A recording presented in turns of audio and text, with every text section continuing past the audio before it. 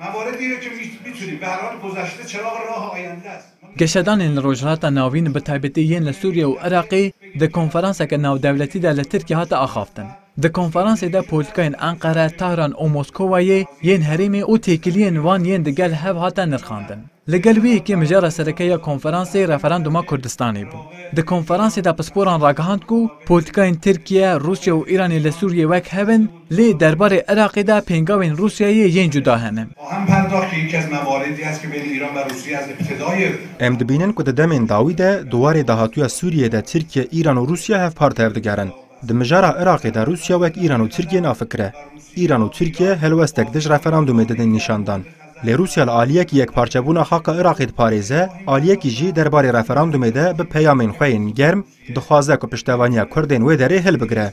Yek jî beşdarê konferansê Profesor Mahmûd El Hamza ku bi eslê xwe Sûriyeyî ye, di nirxandinên xwe yên bo Kurdistan bîst û çar ê de got, Rûsya bi vê polîtîka xwe dixwaze ku piştî Sûriyeyê li Iraqê jî bibe xwedî hêzek mezin û rolek girîng bi dest bixe.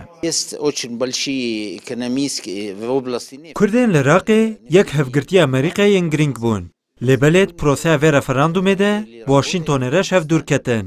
û Rûsya bi pengaveke bi lev li pişt wan derket.